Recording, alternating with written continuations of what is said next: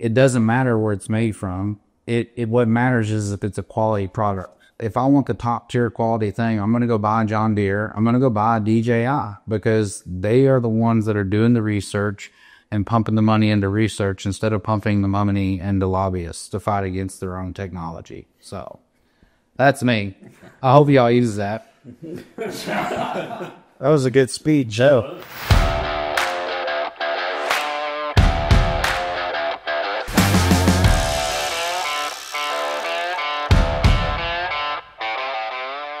So today, I get to be on the road hanging out here in uh, the area I live in with Ignition Land Services. First, tell me about how you guys met up because uh, there's a story there. And then, of course, how you got into the business, right? Me and Chris have been uh, friends for a long time. We started back in Tarleton uh, when we went to college together. That's where we met, and we worked at Tarleton State University's uh, Research Center Dairy. We started our business with a little side by side buggies doing small acreage, ranch management, that type of stuff. And we uh, saw these DJI Agras drones uh, come into the market. We had a guy that was uh, selling them to us, actually a good friend of ours, Mason Walker with Osprey Ag Drone Solutions. We actually hired him to do a job for us uh, that we couldn't get into. The field was too wet, and we were interested in the drones, but we needed to see one perform and see if it was game changing. And after about the first 30 acres uh, that he had sprayed out of the 150 plus acre field. Chris and I turned to each other and I said, uh, This is going to change our life. I was skeptical, just prices and all the you know, regulations you have to go through to get to legally operate the drone. And so, yeah, we hired Mason to do that job. And yeah, we both looked at each other and it was like, holy cow. I told him right there, we're gonna we're gonna buy none. Uh, we want one. Started the paperwork process of it. That's kind of where we're at. We've expanded. We've got multiple drones setting up for multiple trailers. We're covering a lot of ground. It's really created a life for us. These drones have allowed us to uh, feed our families and support our lifestyle. And basically, uh, without these drones, uh, we would have never been able to expand uh, as quickly as we have. It's given us a lot of opportunities, uh, whether it be mapping uh, with an enterprise line or uh, spraying, whether it's ponds, lakes, fruit trees, pastures, trout mesquite, taking care of brush encroachment. They've given us access to a lot of acres that we would have never been able to get a hold of. So I think a lot of people are calling it the untouched acre because it's it's not what the air tractors get to. And there's no 18 wheelers involved. We're able to support the clients and then be back home for dinner. So there's some cost savings to those smaller operations. Uh, what are some of the other benefits that drones are bringing to, to the farmers? I think it's a, a great opportunity for them to be able to uh, scout fields and get into fields when they're too wet. Maybe they have a ground rig that can take care of their whole entire operation. The drone has become an essential tool uh, for some producers that we have either worked with or sold a drone to uh, being able to get in when the ground's too wet. Uh, we've taken care of a lot of corn acres and wheat and uh, milo acres are on the books for producers that it's going to help not reduce their yield through crop damage of a self-propelled sprayer going through it. Uh, and we've positioned ourselves to be a little bit more affordable than a plane or a helicopter, especially since we can go out and, and treat, you know, 100 acres or so where they just couldn't get to it. The field was too wet or it's got limited access to where a plane or a helicopter can't get into. But that doesn't mean drones are necessarily getting rid of of air tankers and things like that, right? It's not going to replace my helicopter, but it's going to make it safer and, and add another thing that I can go pull out wherever I need to get into a situation that might be pretty sketchy in a helicopter. We generally still caution against night flying, but if you're a big producer, farmer, and you know that your field boundaries are correct, um, something cool about the drones is we tell people is once you fly a field and it works, as long as no trees move, you didn't put a new power line in, it's a robot. So if the wind conditions and everything are good, and, and maybe nighttime is the only time you can get the work done because the wind's been you know kicking your butt. If the field's safe to fly, the drone just flies it which is pretty cool because that's something that talking about tool in the toolbox even if you're a, a manned aviation guy, you don't want to fly at night, can't fly at night. In some circumstances, you can send the drone to go do this work. It's more efficient with that using that robotic enhancement with the drone. Um, but just as an operator, how easy? Because you you've done ground spraying and and then transition to this. Just how exactly more efficient has it made you over the ground operation? 400%. That's an excellent number too. Uh, yeah, that's legit. 400% more efficient. We would need to carry thousands and thousands of gallons of water, which made logistics a lot more difficult and made it to where getting the job done was actually a gauntlet. If it was 100 acres, I mean, we'd have to take 1,000 gallons.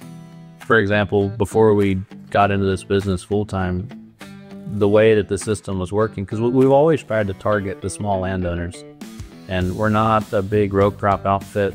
Now we can touch it, but in the beginning, the mission was to like serve the basically underserved, like the guy that wants to get his pastures better for his cattle. No one can touch it because, you know, someone's not going to drive an hour across town to go do 20 acres. They might, but it, they don't make a habit out of it. Yeah. And so we went from the ground rig to now the drone, and it's cool. Like the trailers that are behind us in our shop, load that with herbicide, fill the water tank up, and you're off to the races. We don't have to go p- try to find a pond or say, hey, can you go shuttle this water all day? What are some of the challenges and issues that uh, you've been facing or see coming down the road towards this industry? I think it's accessibility right now. I don't know if that's the right answer. Just being able to get our hands on them to support the industry's needs, which that's been kind of a, a friction point. Is we have so much work lining up that if we could go get 10 of them, put them to work, that'd be awesome. I think the other challenge is is the regulations, not necessarily the regulations, but the timeline it takes uh, to get these things legal. We're talking months and months, but getting a hold of people uh, within the federal government's uh, Federal Aviation Administration has been extremely difficult. Um, it's almost like it's bottlenecked us down. Uh, there's a Facebook page where everybody's constantly asking, like, hey, when did you submit your stuff? When are you getting it back? And I think that's going to end up hurting us in the industry long term. Uh, you're going to have people operating without the proper paperwork and insurance and everything else under the sun. So that's been a big challenge for us as well. We are about 400% of the people out there. 77% of the drones in the United States that I've ever heard recently is not are not registered. That's a number that we've heard recently. And what's sad about that to me is like knowing the industry, no one's trying to do mischievous things. If you know an ag drone, you're not flying around a neighborhood, you know, trying to spy on people. The things it's pretty impossible with, with that size of a drone. the size of a small car, you know, and, and the battery lasts long enough to do the job, not to fly across town. Um, so none of these people are going, I'm going to go buy a drone and make it illegal and go and do something bad. Like people are trying to support their families, they're trying to support their farms, they're trying to protect their crops, and they're forced to, you know, not follow the correct path. We always advocate with our clients, like, you know, work towards your exemption. I mean, like Chris was saying, he saw an end to it. I would try to wrap my brain around how how we were operating at the current time. How were we going to transition from owning a job to owning a business where we're working on the business instead of in the business? And these drones, uh, we got comfortable enough with someone like Cooper. Uh, Cooper is a firefighter in Fort Worth. And when he is not uh, at the station, he's here helping us do whatever. We send him out by himself with equipment, and what we're able to pay him is worth his time to be out there, or at least I hope it is. And yeah, but I mean, Cooper, I mean, have you had fun learning about it? Oh yeah, no, it's it's amazing. I mean, it's it's a really cool thing. Like, if you would have asked me a year and a half ago if I was going to be flying a drone spraying herbicides and pesticides, I would have laughed. I mean, that was like before this. Like, yeah, when I hear drone, I think of like the little camera drone or something. That before I saw one, it was like I really couldn't really wrap my head around it.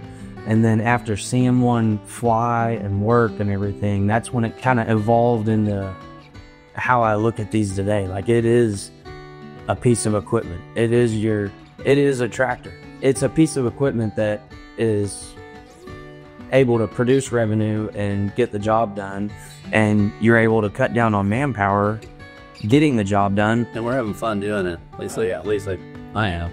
It's definitely been cool, like meeting all these landowners and like it, it's a different kind of clientele. Like we love our row crop jobs and like the production ag, but like meeting all these people that maybe they worked a big corporate job and they moved out in the country and they just want their place to look nice and they don't really know how to do it. Then we're doing work for basically uh, the Soil Water Conservation District and Natural Resource Conservation Service, uh, saving them literally millions of dollars in maintenance. And, and that would not be possible without the drone. So that's going beyond farming. That's helping Budgets. budgets, tax dollars, as you mentioned, making things more efficient for them and safer down the line. You mentioned sourcing as a problem, which, you know, of course, we've been dealing with for quite a while. Some of it's tariffs. Do you see other impacts with legislation that concern? Yeah, um, the banning of the drones purely coming out of just not understanding what they're used for. If anybody wanted to look at someone's property, there's plenty of satellites uh, flying around in the air uh, and can be observed that way. Um, those concerns are very illegitimate for me. Uh, I think that it's a tactic that's being used and, and being used because it's easy to communicate with other legislators. I feel like that me as an individual and my business is being personally attacked uh, with the, the the scare. I mean, I've I've got half a million dollars in drones sitting out here in the shop, and I don't know what's going to happen to them. Uh, if if it's something of as far as they want to ban them altogether, am I going to be compensated for that? And am I? I mean, it's going to completely destroy my way of life, uh, my livelihood. It's going to change my family's course. It's going to change my course with you know one of my best friends. And I think that if nobody can understand, you know, just because they raise their hand or push a button on a screen to vote uh, in DC or in Austin for us, the stroke of a pen can is going to change a lot of people's lives. Uh, there's full on operations that are depending on these drones to get jobs done that they weren't able to do, increase production. Uh, so you're going to see production uh, decreased. Why are we trying to stop them from being used if they're solving immense problems, saving tax dollars? If we're truly about saving and cutting the budget, we're living proof of cutting the budget for an entire district, and that can be expanded to every county of every county and parish across the United States. So that's that's kind of my take on it. So, on a lighter note, then let me ask where do you see the future of drones uh, in agriculture?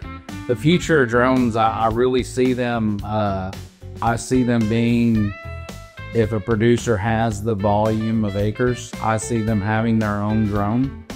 I see it getting to that point where it allows that farmer to get off the farm a little bit more and get out and be involved in the community uh, or be more involved in his family's life. I think that would help with mental health with producers, uh, not having as much stress uh, with trying to get a job done, trying to hire somebody else to go do it. I, I think that the autonomy of this is truly uh, going to help the American farmer and the farmer worldwide to be healthier. I mean, talking about mental health and everything, one of the things that producers struggle with is the uncertainty of weather and time. So you might want to go to say your kid's baseball game, but Friday is the only day that's got good weather to spray, and now you're stuck doing it.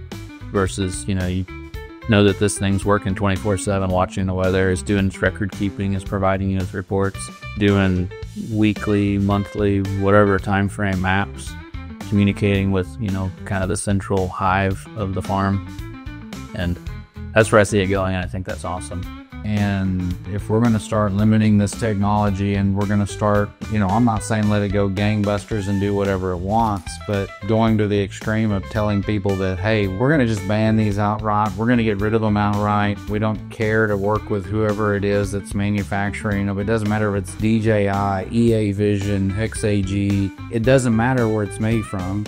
It, it what matters is if it's a quality product if I want the top tier quality thing, I'm going to go buy John Deere. I'm going to go buy DJI because they are the ones that are doing the research and pumping the money into research instead of pumping the money into lobbyists to fight against their own technology. So that's me. I hope y'all use that. That was a good speech, Joe. That's why we've kind of tried to take a solid step, not really backwards, but like how do we support the industry? And I think that's kind of our next frontier for our business is we're obviously going to keep spraying, but like how do we service the community? I mean, we see people come in and buy drones every other day. And, you know, where are they operating? Oh, we're down, you know, Down near Brent. 30 minutes that way. And it's like, so it, it's exciting for us because we get to still be a part of it, but we're trying to be the hub, the support network for all these, all these people starting their businesses or supporting their farms. I just uh, hope that the process of getting these products here and, and being able to support them continues to be uh, an active matter on everybody's mind. I don't want it to be just shoved to the wayside. I think these are amazing tools that can solve many different industries' problems. They may not make it just a snap of a finger solve, but it 110% is something that makes some of the larger problems that we face, whether it be in public safety, agriculture, industrial. It makes the job a lot easier, a lot safer. Well, all right. I thank you guys again for uh, letting me come out and uh, harass y'all and talk to y'all.